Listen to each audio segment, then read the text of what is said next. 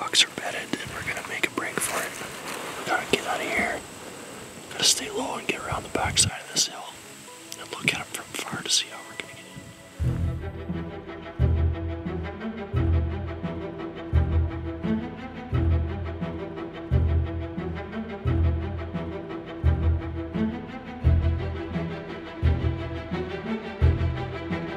This was our chance, and with the feeling of failure from the day before still ever so fresh, we were taking no risks on this one. It was time to bear down, no mistakes, and create an opportunity.